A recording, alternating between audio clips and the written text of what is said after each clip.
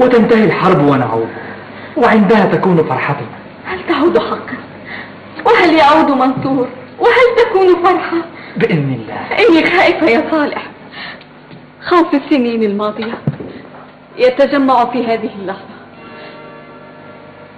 هذه اللحظة تقفز فوق الزمن. تطفو فوقه خوف عمر كامل أراه الآن أمامي. أحسه في قلبي. رباب هذا الخوف يفسد عليك حياتك.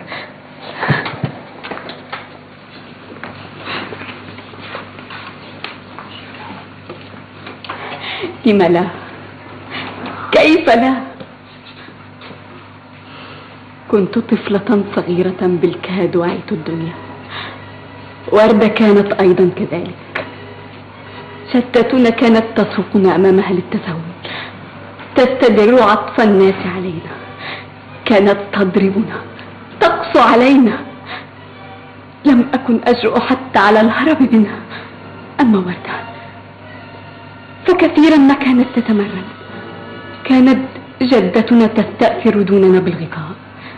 فنبيت نرتعش من شدة البرد من شدة البرد ومن أصوات الذئاب تشق سكون الليل ومن أصوات الرعود تهز أركان الكوخ الذي نأوي إليه.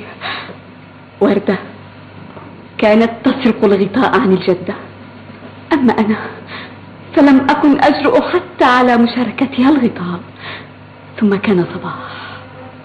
رأينا الجدة لم تفق.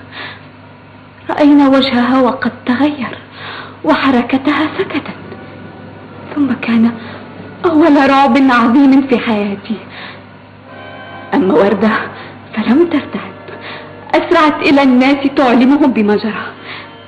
جاء أبوك أخذ وردة ومنحها الحب والعطف والرعاية.